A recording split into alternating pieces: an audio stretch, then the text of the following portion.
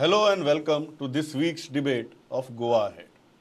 And the issue that we are discussing this week is revival of Congress. Goa assembly elections are just six months away, and Congress has still not got its act in order. What does it need to do? There have been multiple visits of desk in charge in Goa, but there has been no movement as far as any decision making is concerned. I am joined by two eminent panelists in the studio. I have with me senior Congress leader, former minister Aleixo Sequeira. Alex Bab, welcome. Thank you. And joining me online is senior political analyst and lawyer Radharao Gracias. Radharao, I'll start with you. when you look at this state of Congress uh, and assembly election just being six months away, and you have seen the recent visit of the desk in charge, uh, do you foresee any changes, or this is the stalemate is going to continue till the elections? See, going by history, it does not look like the Congress is willing to learn. The Congress obviously knows what the problem is, but uh, it does not have a decisive mind to come out with a solution. Even the solution is visible. You see, right now, I can see that an overwhelming majority of the people of Goa are looking forward to a change in government. But in such a situation, there must be one party willing to say, look here, we will be able to give you a better government and we are coming out in strength. And this is where the Congress is failing. Because today, small players are making inroads. The AAP is coming into the picture. Then there is something called Revolutionary Goans. Then there is GFP. Then there is going to a court. And all are going to eat into the Congress votes. So the Congress, I do not know what is wrong with the Congress. Or of course, I do know what is wrong with the Congress because it is the same problem they have been having all these years. Hmm. Their, their reluctance to see what is so clearly visible. Uh, Now- yeah, go ahead, Radharao. Now, if the Congress doesn't want to learn and doesn't want to reform, I think it is for the rest of us to come out shortly and say, ignore the Congress, let us provide an alternative, and such move is already on. Okay. Uh, Alesh Bab, uh, how do you look at this situation? You are a senior member of the party, you are a former minister.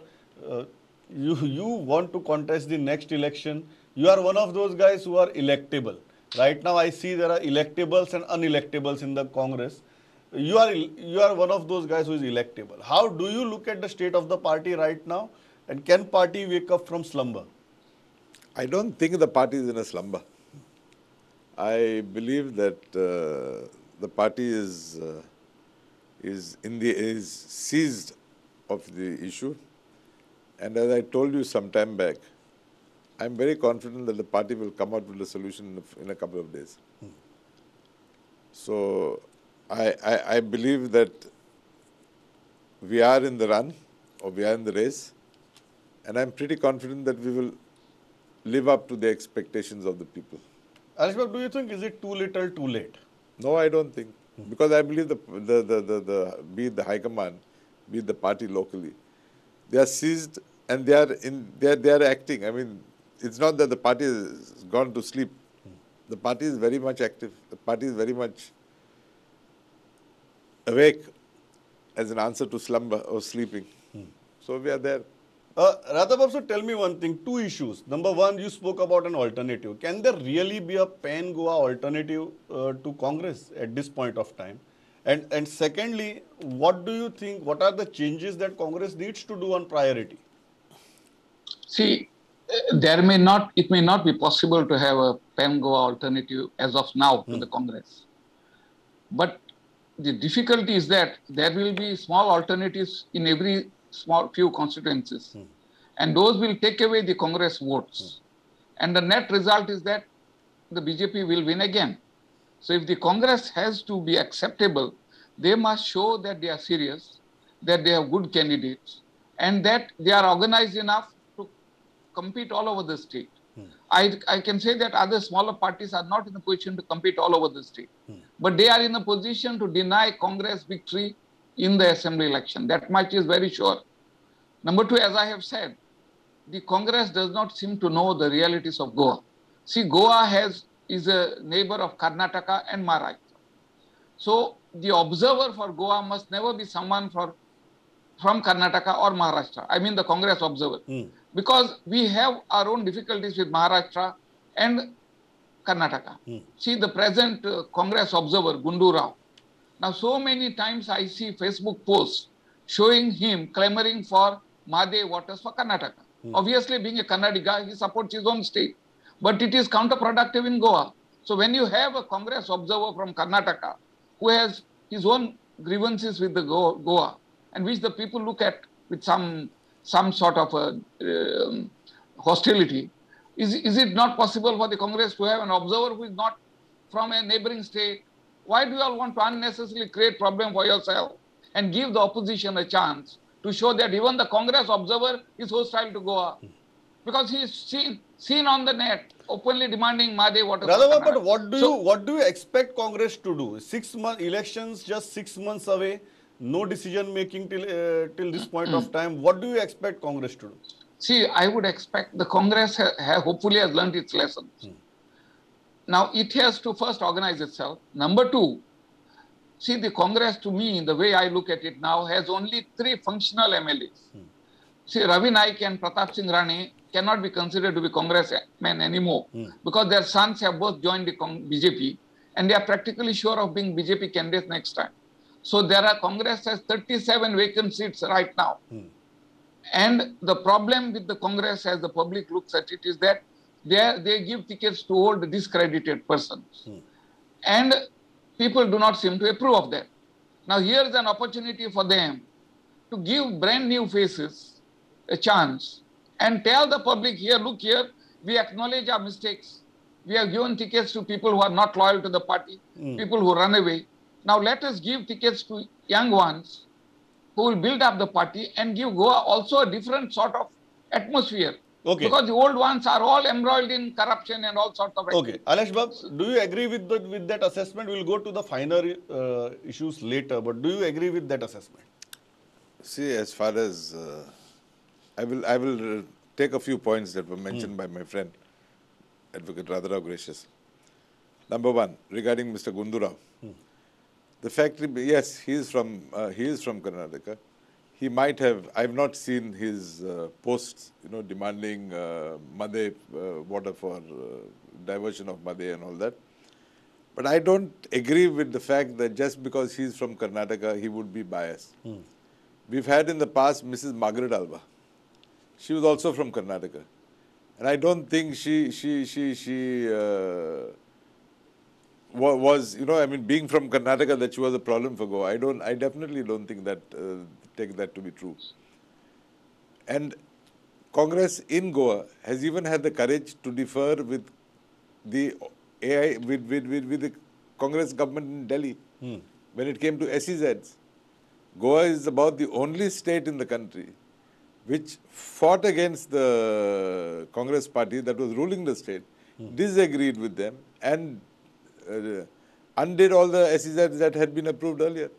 So I don't agree with that thing. Just because he's from Karnataka, he's a liability for us. I don't, I, I don't agree with that. Yes, tomorrow, if, if need be, we will we will disagree. We will agree to disagree with him. There's no issue on that. So I I re, re, deduct that fact that just because he's from Karnataka, he he, he would could be a liability for us.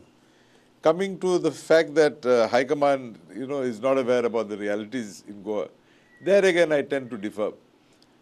I believe this is the first step. I, I, I've been in active politics from 1994. I believe this is the first time that we've had observers coming so well in advance. And the mere fact that they've come so well in advance is because the High Command is definitely seized of, of, of the situation uh, of the situation in Goa. So I, I, I tend to disagree with what my friend has just said. we uh, are aware. Alesh what do you think are the priorities of the party right now? I think the, What should the be the priorities of the party. The priorities, as, as, as, as you all have said, the priorities of the party should be to be active in the, in the different constituencies. I think the party is active in the constituencies. We've got our blocks in place. Maybe here and there we, we, we don't have a block. But otherwise, we have our blocks in place. We have our blocks that are active. During the last uh, one month, we've had so many activities which various blocks have undertaken, have successfully undertaken. So I, I, I don't agree that we are that we are sleeping. I don't. I, I believe that we are fully aware of what is happening, and we are there in the field, active as ever. So I don't foresee a problem as you all are trying to The, project. uh, another thing, Radhabab, is you mentioned it uh, in your initial remarks also is regarding split in anti-BJP votes. Uh, there is Aam Aadmi Party in fray, there is Revolutionary Goans, there are other smaller parties. Uh, we'll come to the alliance issue later.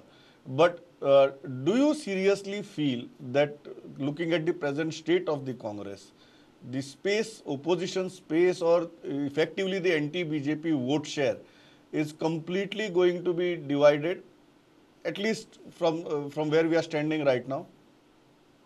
Uh, uh, Pramod, see what happened. First, I'll just answer to what Alicia said. I have never said that uh, Gundu Rao is biased.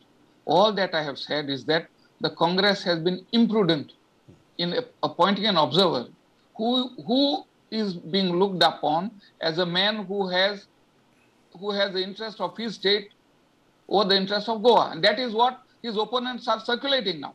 I am not. I, I was not aware until I saw that clip where he is shown demanding Mhadei waters for Karnataka. So my thing is the Congress should be careful about Goa. Hmm. They should know what are the issues and do not add to their own headaches by giving the opposition a chance to circulate hmm. something about their own observer for Goa, which is hostile to Goa. Hmm. He may be a good man. I have no issue there. I don't even know him. Now, what was your second question? The second question is, do you really believe that from the uh, point where we are standing right now, that anti-BJP votes in an anti-BJP space is completely going to be divided? Oh, if, Obviously, if, I mean- if the vote share doesn't get gravitated towards one particular See- political force.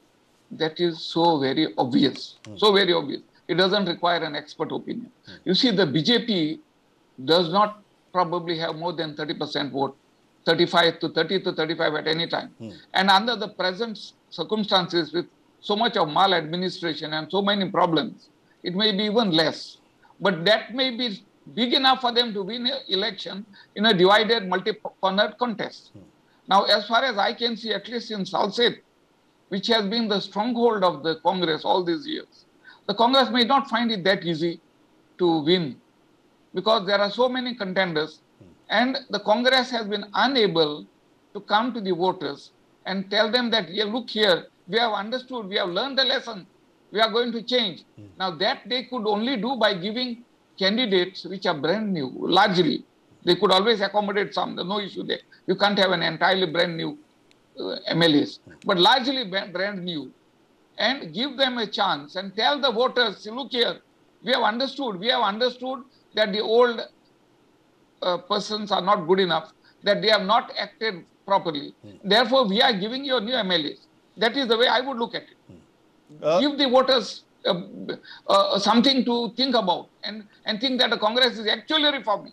Considering that, Radhava, before I go back, considering that, Radhava, before I go back to Alesh Bab, do you recommend Congress to go for an alliance? Because right now, and if so, with whom? Because right now, Uh, Congress is still saying we will we will think about it at the right time. See, I would. And what is the right time? No, an alliance may not be the right thing. My, the way I look at it, I would feel that the Congress must must approach the GFP, Goa Forward Party, and get it to merge with the Congress. You see, as far as I know, Vijay is essentially a congressman. He is out of the Congress because the Congress ill-treated him, mistreated him last time. They forced him to form a party. They refused to accept him, and that is because of of uh, of uh, Vijay's problems, not with the Congress, but with, with because with the leadership of the Congress at that time. That is Girish Chodankar and Luizinho Faleiro. They don't get on well for whatever reason. But the Congress must get above these personal differences of their leaders with other leaders who matter. Vijay is a man who matters. I have myself spoken to Vijay in the past. And I don't think he would be averse to merging his party with the Congress if he gets, uh, if he is accepted with good humor and in a good way, Okay. not by Alesh Bab, being abused. Alesh Bab, how do you look at both these issues? Number one, that right now the opposition space is so divided that it is clearly advantage BJP because the vote share, the anti-BJP vote share is not getting gravitated towards any one option. And secondly, if so, is alliance, a Mahagathbandhan an answer? or as Radhabab said, strengthen Congress, uh, allow smaller parties, win their confidence, get them to merge into the party. What's the best way forward? See, as far as uh, splitting of votes is concerned, I definitely agree with him that there are a lot of uh, small, small parties that have emerged. But I'm sure and I'm confident that you see the voter is wise. The voter today has decided they don't want the BJP. In view of that, they will have to take a call whether they want to split the vote and as my friend Advocate Radharao has said, split the vote and help BJP to come back to power hmm. or not. Should they should should should the vote be divided? Definitely BJP is coming to power. That is why I believe the voters would be wise and they would, as he himself has said, that there is no formidable force hmm. to fight the Congress party. So I definitely believe the voter is wise and the voter, voter will recognize this fact. Hmm. And that is why the voter will stand behind the Congress party. Uh, As far as the party is concerned, yes, in the past we might have made certain mistakes. The party party has also been has also admitted uh, mistakes that have occurred in the past. I think recently during Mr. Gundurao's uh, visit, he has, for example, said none of the 10 who uh, went the other side will be given tickets to stand for the next election. So I believe the party is in the act of of uh, doing things. Maybe they've not gone public uh, on TV or to the media to disclose what is happening, but definitely they are seized of the matter. Uh, Salsette. Now, uh, Radhabab spoke about Salsette, and he feels that uh, in your bastion itself, and you are from Salsette, uh, Congress looks on a weak wicket because there are so many players, and probably to the best advantage and pleasure of the BJP, that your bastion is completely divided right now. There are there are cracks, and there are chinks in your armor. So, how do you look at it? Cracks are what you say. We are saying there are no cracks, number one. Hmm. Number two, why are you restricting us only to South Goa or to Salsette? We, the last elections, when we won 17 seats, we had, we had MLAs from all various various talukas of Goa, not only Salset. Hmm. So why are we tying ourselves down there? So you are saying uh, Congress don't restrict Congress and the arithmetic of Congress just to one taluka. I agree, Salsette is a strong bastion, but we are, we are a formidable force in the other areas also. Okay, then the question comes, Radhabab, and very important question: ki what happened between 2017 and 2020? Uh, so many Congress MLAs uh, defecting, two-third defection. Before that, MLAs resigning, uh, contesting the election again, and uh, getting re-elected, joining BJP. Uh, do you think whatever Congress does right now, uh, people will be in a state of mind uh, to trust the Congress again? There will be, or that, that the trust deficit is going to, that credibility crisis are going to continue. Uh, see, this is not a problem only with the Congress. I would say this is the problem created by the Congress. You see, when the Congress was in power all these years, they should have had a proper law. The Anti Defection Act is full of loopholes, and everybody is jumping through those loopholes. So, what is required is uh, a law which will plug these loopholes. In fact, if the Congress can't do anything, I am prepared to show them how to do it. In fact, I have studied the studied the Anti-Defection Act, Representation of People's Act, and there are so many things that could be done that all over the country this sort of rubbish will stop. And I don't think it is only because of the Congress. It is because of the desire of the voters, not of the MLAs, mind you. The voters in, in Goa, I don't know whether it's so elsewhere, is completely dishonest.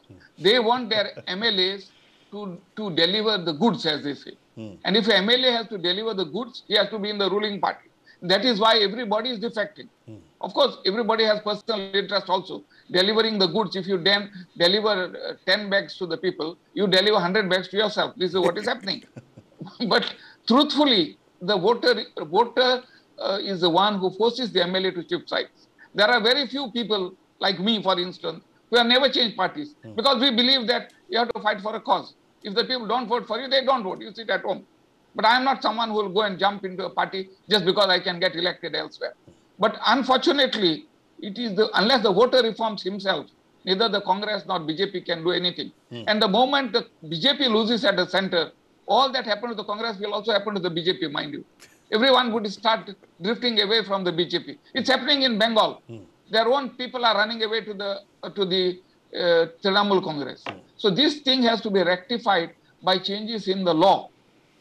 And I don't know whether the But, BJP but would do it or the absence Congress of that, it. In absence of Yeah. that, is Congress in any position to win the trust of people back? That suppose people give mandate to Congress in the next election, uh, why should a voter today believe that there won't be a repeat telecast of the saga that we saw between 2017 and 2020? Uh, now, that is for the Congress to consider. But I would basically believe that if the Congress comes out with new faces, hmm. see, the old faces have mostly have, have, have been are considered by the public to be dishonest, hmm. not reliable. So I would feel that if it comes with overwhelming majority hmm. of new faces, then you can tell the public, Baba, look here, we have understood the problem and we have found a solution. Please give these new men a chance. Hmm. And you know, another thing will happen. When new MLAs come, they, they, they would look upon a long career in the party and of getting elected. Okay. They are, they are not people who will run away merely because they have to be in power, office, Okay. in, in uh, ministerial position. Alish Bab, So I uh, would think, Alish yeah. Bab, respond to both those points. One, new faces. Uh, how how how old war horse like you uh, is looking at that suggestion, and secondly, uh, can Congress win the credibility back after what happened during last four See, years? See, regarding the first issue, Yeah. wherein you're talking of new faces, I think the party has been very loud and clear that they are going to give majority tickets to new faces. So Fine. that is one one uh, issue uh, cleared. Second issue is you've spoken about uh, Winning the credibility back. winning the credibility. As I've said in the past, the Indian National Congress Party is a perfect party. It is we individuals who are making this party bad. The party is good. The individuals are bad. No, ultimately, people vote for those individuals only. Not necessarily. I don't agree with you. I'm, I'm sure. Ultimately, the people who defect also are individuals, not the party. So I'm saying Although they the, claim I'm that saying, they have merged I'm, the boss, party also I'm right saying now. the individuals are bad. The party is good. And let us not forget, we are harping about the, as as my friend has just said, Advocate Radharao. People are jumping from different parties even today. Um, West Bengal is one. Go to Andhra, go to Punjab. Three MLAs of AAP have recently joined uh, Congress party. So it is it is all over happening all over the country people from various parties jumping to see what is happening in Assam. They've just had elections uh, recently. See what is happening there in the northeast. So it, it, it's become, unfortunately, it's become part of the. Can the party win credibility back before it wins votes? I'm telling you that the party is still held in high esteem by the voters in Goa. Hmm. I'm not talking about the rest of the country. Our debate is restricted to Goa. It is still being held in high esteem. Hmm. I'm again telling you that we will form the next government in Goa. 2022 will be a Congress government. This is something we are very confident about. You all may have, uh, you know, certain uh, doubts about the credibility. I don't think, I, I, I, I don't see why we are harping on credibility, credibility. You talk about the other parties, what is their credibility? Okay. Very. Uh, uh, before I conclude this debate, Alesh Bab, final one thing that you want your party to do probably in next fortnight. I think the current exercise that the party has undertaken for the last so many months should continue, and we and day by day we are moving forward, ready to face the next election. Radhabab, one thing that Yeah. you expect Congress to do over next fortnight. See, uh, I would expect the Congress to give confidence to the voters that they are actually acting, acting to see that all the problems that the party has faced are being sorted out. Now, if that is done and the people are convinced that the Congress means business, the party could win back again. See, you have to also consider the fact that I am someone who has been a thorn in the Congress side all my life. Yes. Everybody in Goa knows that. now, I am not with the Congress. Essentially, I have no problem with their ideology, no issues. My problems have always been their leaders were corrupt and dishonest in Goa. Hmm. Their ideology is fine, no issue there. So what I am saying is, even if people like us, even in the last parliament elections, I went out of my way to support the Congress simply because I, I do not, I had anticipated what Modi would do and what is happening, where people's rights are being taken away, so many things going wrong. I knew that would happen. So I went out of the way to support the Congress precisely because we did not want a second term for And Modi. you felt that that was the best option to take on the BJP. No, within within the limited uh, limited uh, formulations we had, that was the option. So the same thing is happening here now. I don't see the AAP or the RG or the Goencho Avaaz aligning with the Congress. I don't see them aligning. That is why I've said they have to work on the GFP to get it merged with the Congress. Because keeping them out may not be, we do not know what will happen post election. Okay. Uh, very, very uh, practical, very precise, specific suggestions. Alesh Bab, Radha Bab, thanks a lot for joining on this debate. I think any democracy needs a healthy and effective opposition, and that's all Goans are hoping for with elections just six months away. Radha Bab, Alesh Bab, thanks a lot Thank for you for joining. Keep watching. for having us on Goa the ahead. show.